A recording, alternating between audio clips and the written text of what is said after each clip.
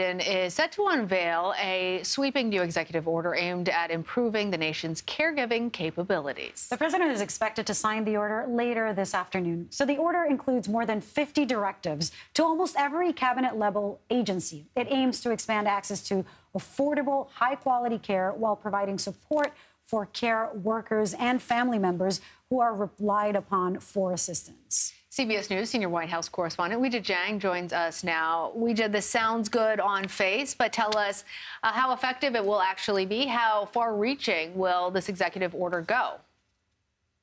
Well, it's far reaching to the extent that he has asked every agency to basically look at their budgets and see uh, where there might be more resources uh, to dedicate to childcare. But you're absolutely right this is a directive. So the president is well aware that his executive powers are limited. What he can do is to direct these federal agencies to look for ways to make childcare cheaper and more accessible. Um, but in terms of you know what it will do once he signs it, which is expected to happen later this afternoon during a ceremony at the Rose Garden, it's still dependent on uh, what these various agencies can independently come up with.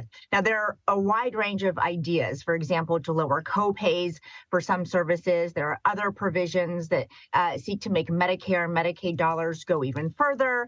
Others will try to look at new ways to improve care for veterans. HHS is supposed to be um, giving more money for educators in the Head Start program, so early education is made a priority. But again, this all depends on resources available because senior administration officials are also making clear um, that this is not new spending, which, as you guys have been covering, is mm-hmm. a very sensitive topic ah. here in Washington right now when it comes to new spending. And so they say that uh, these agencies will look at existing policies and funding that's already allocated and try to see if they can move some things around. I see. So only if you have some loose change, uh, that's the message for the agencies. If you don't, uh, no funding is coming with it.